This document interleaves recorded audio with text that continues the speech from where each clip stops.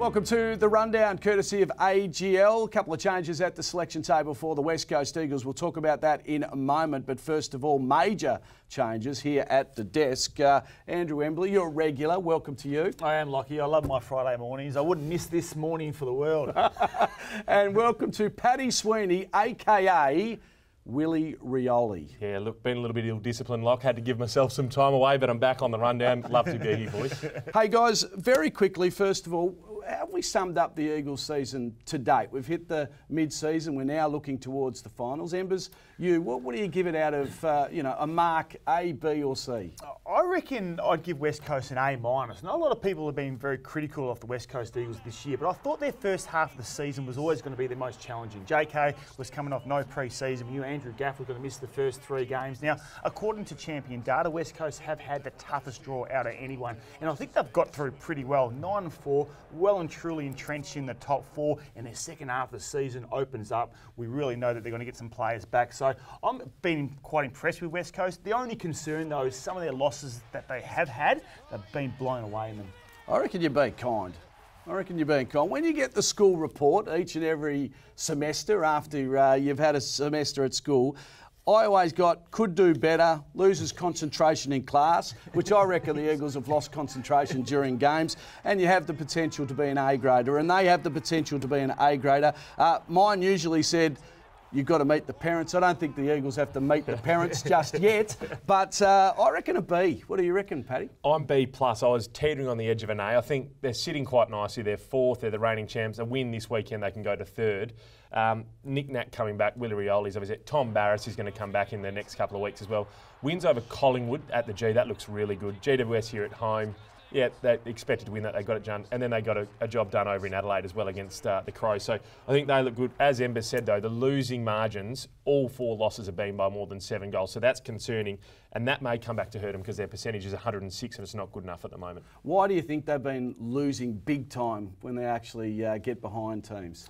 Well, when you look at the games that they've lost this year, Geelong and Geelong always been a very difficult ground to win at. Sydney in Sydney, West Coast haven't won there since 1999. And Brisbane, first game of the year, we thought that was going to be quite difficult. So when you look at some of those losses there, it's maybe not surprising that they have been blown away. Um, certainly the Sydney game, I thought Elliot Yeo not being in there through the midfield, no Shannon Hurn. So there was reasons, maybe the reasons why they were beaten so badly in that particular game. But that's why I'm not actually too concerned with the West Coast Eagles with uh, the way they're going at the moment. I think they're playing some pretty good football, and their best, in my opinion, is ahead of them.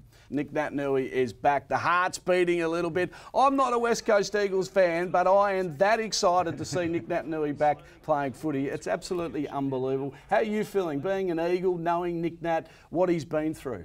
Well, I think it's just great for the West Coast Eagles. It's great for Nic to be able to be back out there playing. He's arguably one of the most popular West Coast Eagles players to have ever played for the club, and he gets his opportunity to be able to go to the MCG this week and uh, and play some football. And um, you know, let's not underestimate the impact that Nic Naitanui has. They were 10 and 1 to start the season last year on the back of Nic Nat around the contest. So he's absolutely crucial to the way they set up around the football. And I can assure you, the Eagles mids at the moment are just licking their lips that Nic Nat is coming back into that side. All right, so what happens from now on? Obviously, it's Hickey and Naitanui tomorrow. We saw last year that it was Lycett and Vardy who got them through to the Premiership. What's the best combination with Nic Nat as the number one ruckman? Well, for mine, yeah, Paddy, I think at the moment I think Hickey's good because I expect that Nic Nat is not going to play a lot around the contest. He's going to have to spend a little bit of time forward, Nic Naitanui, just to get his confidence back, start to get a bit of match fitness. So I think Hickey at the moment, to be able to share that load through the middle of the ground will be crucial. But for mine, towards the second half of the year, West Coast are going to have to want Nic Naitanui around the contest a lot more. So therefore, I think if it's going to be Hickey or Vardy, I think whichever those two can play the forward line role better, I think will probably get the nod for mine. That's the problem though, mm. because Hickey and Vardy aren't getting on the scoreboard at the moment. Now, last year, Lycett got amongst the scoreboard. Vardy was actually pretty good forward. I actually think the best combination will be Nic Naitanui and Oscar Allen. Yeah, that's interesting. I, I think at the moment, as it stands, the Nic Nat Hickey is the one to go just because of what we've seen this year. And he's done pretty well, Tom Hickey, in his first year at the club.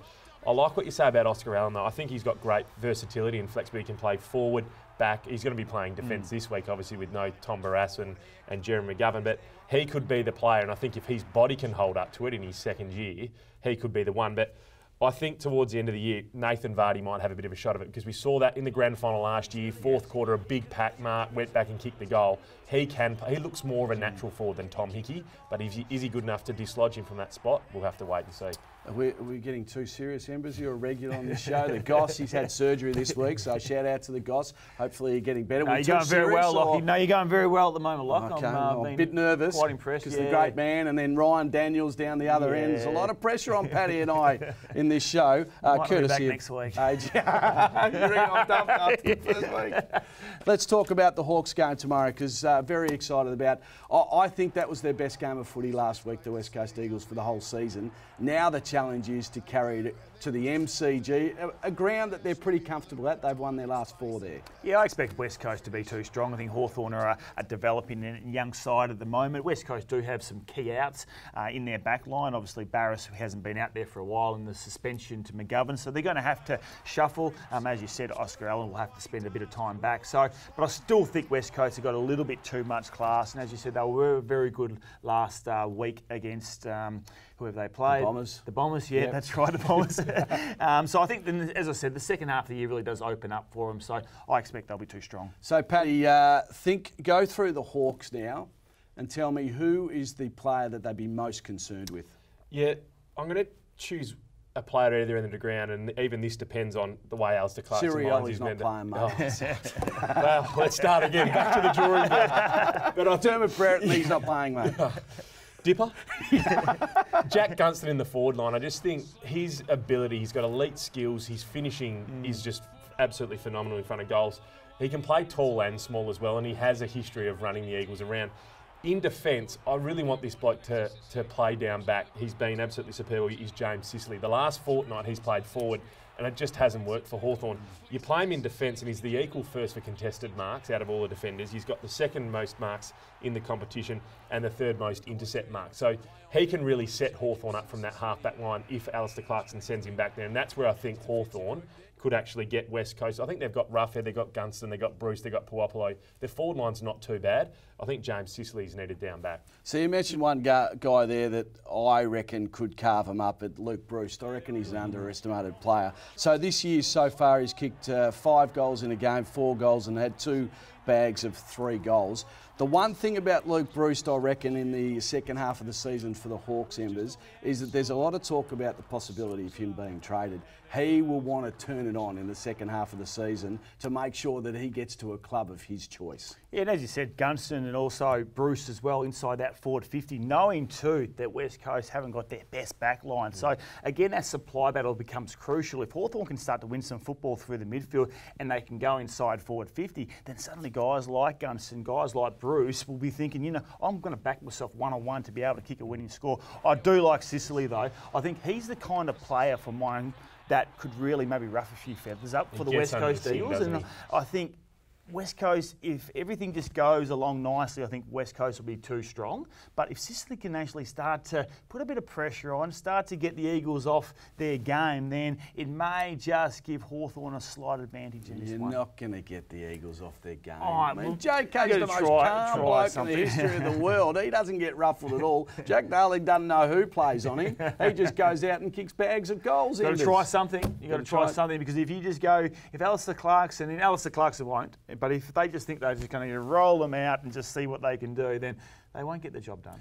Before we go, uh, West Coast injury list looks really good. Tommy Barrass, of course, missed with a knock to the calf in the WAFL, but you'd think he'd be back next week as well. Well, timing is everything for the West Coast Eagles for mine. I think they've got one of the most talented lists in the competition, and now they're looking at actually getting all their players fit and available, which, um, and as I said to you early on, West Coast draw does open up in the second half of the year. So I think um, look for the West Coast Eagles to have a real good charge towards September. All right, well, we've got to wrap it up. I know Goss usually goes for about five hours, but I like to keep it short and sharp. Uh, thank you to you, Paddy Sweeney. Terrific Locke. job. Uh, you may be back next week. Doubtful. In doubt, Doubtful. think. In doubt. Embers, we just can't get rid of you. No, you so can't. Good luck to you, and we'll see you next week. And I don't know whether I'll be here. Uh, Gossage is in hospital at the moment, and we send our best wishes to him. Hopefully, he'll be up and about next week. Uh, that is it. Good luck to the West Coast Eagles tomorrow against Hawthorn. It's going to be a beauty. Nic Naitanui is back in action with thanks to AGL. This has been